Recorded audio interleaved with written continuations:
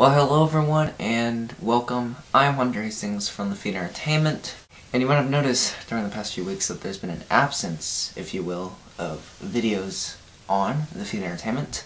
And that is because I have been working on some changes that I'm going to be announcing to you right now.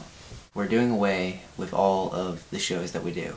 Remember we did shows like TF News, Video Overloaded, Trending This Week, Hunter Show, the feed mix, all that. We're doing away with all that. But I think I have a better alternative. Instead, we're just going to simply do three videos a week, Mondays, Wednesdays, and Fridays. And these videos aren't really going to feature a specific topic, it'll just be up to whatever I decide for that day. I think it will bring more variety to the channel, and it'll be a little bit easier schedule-wise. So the first video of these changes will be going up this Monday, and then after that, like I said, new videos every Monday, Wednesday, and Friday.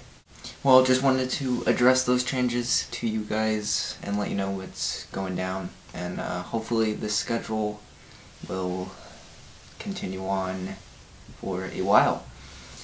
Um, as always, please make sure you subscribe to our YouTube channel. You can do that by clicking the subscribe button down below. You can also check out our website, that is thefeedent.yolasite.com. Just redesigned that, so check out the changes there.